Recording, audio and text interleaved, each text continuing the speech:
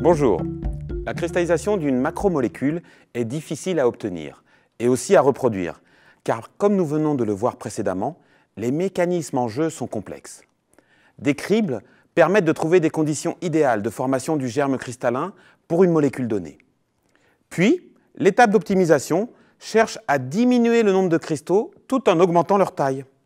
Dans ce but, les cristallographes ont développé tout un panel de méthodes et d'approches que nous allons voir maintenant.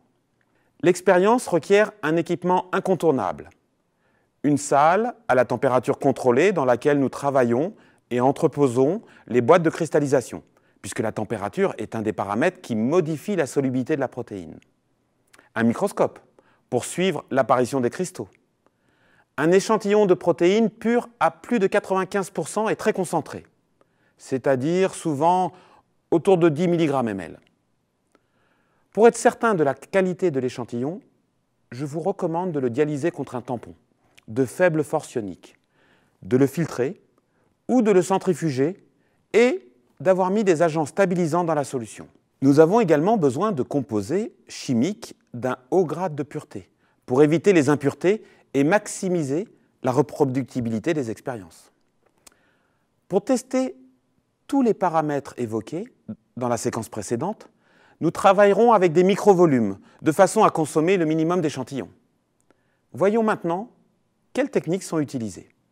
Une première technique permet d'amener progressivement l'agent de cristallisation en contact avec l'échantillon sans faire varier la concentration de ce dernier dans la solution.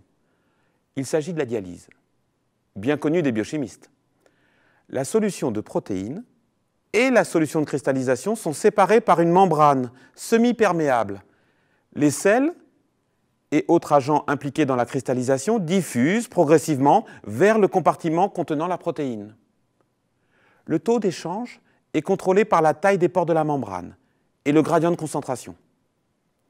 Pour s'adapter au microvolume, cette méthode est souvent mise en place dans des boutons de dialyse, ce qui permet de descendre à des volumes compris entre 5 et 50 microlitres.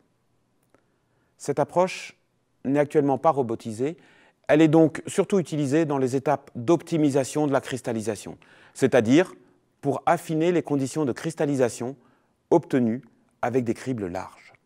Une alternative consiste à mettre en contact l'échantillon et l'agent de cristallisation dès le début de l'expérience et de concentrer progressivement la solution. Pour faire ça, on utilise la technique de diffusion en phase vapeur. Nous avons un réservoir contenant entre 100 microlitres et 1 millilitre de solution de cristallisation. On dispose une fine couche de graisse à vide sur le contour du réservoir. Sur une lamelle de verre, on forme une micro-goutte en déposant un mélange de solution de cristallisation et de solution de protéines. En formant ce mélange initial, on dilue donc les concentrations en protéines comme en agent cristallisant. On retourne la lamelle de façon à ce que la goutte soit suspendue au-dessus du réservoir. Grâce à la présence de graisse à vide, nous sommes dans un système clos. Et un équilibre en phase vapeur se met en place entre la goutte et le réservoir. Comme le réservoir est plus concentré en agent cristallisant, de la vapeur d'eau s'échappe de la goutte vers le réservoir. Ainsi, la goutte se concentre progressivement jusqu'à atteindre un équilibre avec la même concentration en agent cristallisant que dans le réservoir. Dans le même temps, la concentration en protéines augmente et passe éventuellement dans l'état sursaturé évoqué tout à l'heure, favorable à la cristallisation. Une variante de cette technique est la technique de la goutte assise. Au lieu d'être suspendue à la lamelle, la goutte de solution protéique est déposée sur une petite cupule. La technique de la goutte assise a l'avantage d'être largement robotisée ce qui en fait l'approche idéale pour tester un grand nombre de conditions. En dialyse, comme en phase vapeur, le système évolue progressivement vers un état d'équilibre, qui permet de passer par la formation d'un germe cristallin. Une fois connues les conditions associées à la formation du germe cristallin, on peut mélanger la solution protéique avec une solution de cristallisation directement aux concentrations adaptées. Par exemple, dans la technique du micro-batch, la micro-goutte de mélange est placée soit dans une coupelle, soit dans un capillaire et recouverte d'huile pour éviter l'évaporation. Cette technique, également robotisée, est complémentaire des approches de diffusion en phase vapeur. Enfin, on peut induire une diffusion directe à travers une interface par une approche de diffusion liquide-liquide. En superposant la solution de cristallisation et la solution de protéines dans un capillaire, par exemple, par cette technique, il s'établit rapidement un gradient continu de concentration en protéines dans un sens et en agent cristallisant dans l'autre sens, qui produit une sursaturation locale. Dans certains cas, on travaille en gel au lieu de travailler en liquide. Ainsi, le gradient de concentration se met en place plus lentement et de manière continue tout le long du capillaire.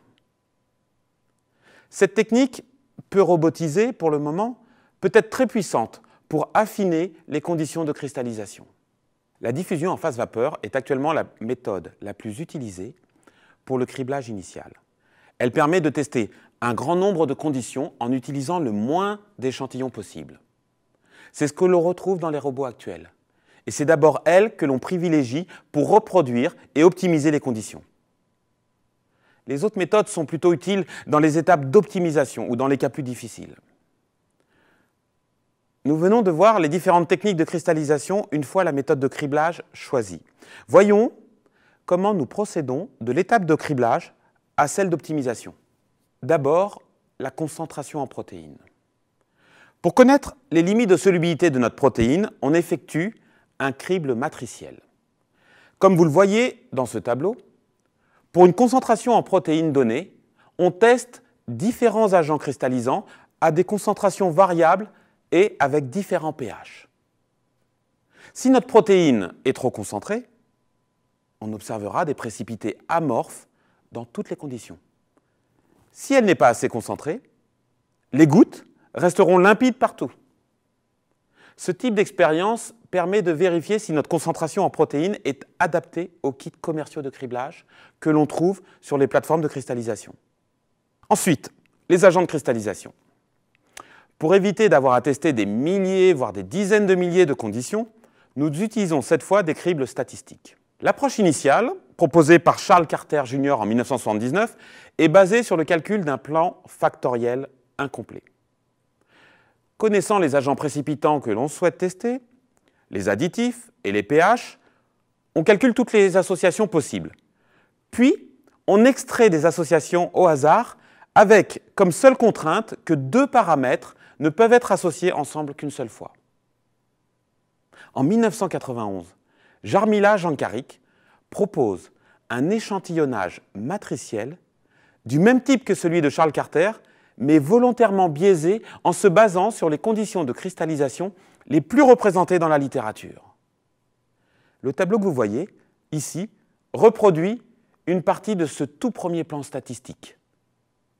Comme vous le voyez, on trouve une grande variété d'agents cristallisants, associés à des tampons, des pH et des additifs également très variés. Plusieurs compagnies proposent maintenant des cribles commerciaux permettant de tester un grand nombre de conditions. Leurs sites Internet sont indiqués dans les ressources complémentaires. L'utilisation de robots, dont vous avez un exemple ici, permet de tester un grand nombre de conditions. Ils sont capables d'utiliser de très faibles quantités de protéines, typiquement 100 nanolitres. La fiabilité des expériences est beaucoup plus forte que si l'on devait réaliser ces milliers de conditions à la main. Les nombreux cribles commerciaux disponibles vont permettre de tester plusieurs milliers de conditions en consommant quelques centaines de microlitres de protéines. Nous verrons dans la vidéo suivante comment fonctionnent concrètement ces robots. L'étape suivante va consister en l'analyse des résultats. Pour suivre une expérience de cristallisation, on observe les gouttes de cristallisation au microscope. D'abord tous les jours, puis toutes les semaines. On peut par exemple observer des gouttes claires, des précipités diffus, des précipités plus serrés ou gélatineux, des séparations de phases, des sphérulites, des aiguilles où le cristal a poussé surtout dans une dimension, des plaquettes où le cristal a poussé dans deux dimensions, ou de magnifiques cristaux avec trois belles dimensions. On repère si un agent cristallisant, un additif et ou un pH sont plus favorables à la cristallisation de la protéine. Si les premières expériences donnent des pistes de cristallisation, mais qu'il est nécessaire d'améliorer les cristaux, nous pourrons affiner les conditions, varier les tailles et les proportions des gouttes, utiliser une des approches expliquées au début de la vidéo. Nous avons également vu dans la vidéo précédente que la cristallisation implique deux étapes, la nucléation et la croissance. La recherche de conditions d'optimisation peut s'appliquer aussi à la phase de croissance. Si nous avons des conditions qui donnent une multitude de petits cristaux, nous pouvons chercher des conditions différentes pour leur croissance en effectuant des ensemencements. Nous pouvons par exemple faire du macro-ensemencement qui va consister en trois étapes. L'aspiration du cristal, le lavage, le transfert dans une solution prééquilibrée. Si les conditions de la goutte prééquilibrée sont favorables, la croissance cristalline commence. Enfin, nous pouvons également faire du micro-ensemencement. Il s'agit cette fois d'ensemencer une solution prééquilibrée avec un ou des germes cristallins. Deux approches peuvent être utilisées. Par broyage, comme vous le voyez ici. Par strexiding, en piquant un cristal sous la loupe binoculaire à l'aide par exemple d'une moustache de chat, puis en passant la moustache de chat dans une goutte prééquilibrée. La structure en épi de blé de la moustache de chat permet d'accrocher des germes sur le cristal lorsqu'on le touche et de les déposer dans une seconde goutte. Comme précédemment, la solution de cristallisation peut très bien être différente de la solution d'où viennent les germes cristallins. Nous disposons maintenant de toutes les informations pour mener à bien une expérience de cristallisation. Je vous invite à venir voir au laboratoire comment cela se passe en réalité. Ensuite, vous pourrez faire le petit quiz de fin de chapitre. Comme pour les chapitres précédents, n'hésitez pas à revenir sur les vidéos. Si vous avez des questions, rejoignez-nous sur le forum mais aussi pour répondre à celles des autres participants.